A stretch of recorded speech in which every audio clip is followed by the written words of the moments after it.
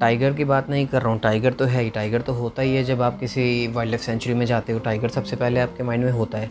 But अगर आप ध्यान से देखो तो टाइगर के नेक के साइड में और इसके जहाँ पे मुस्टेच है, उसके साइड में you will see the spikes और ये स्पाइक्स है पॉर्क्यूपाइन के।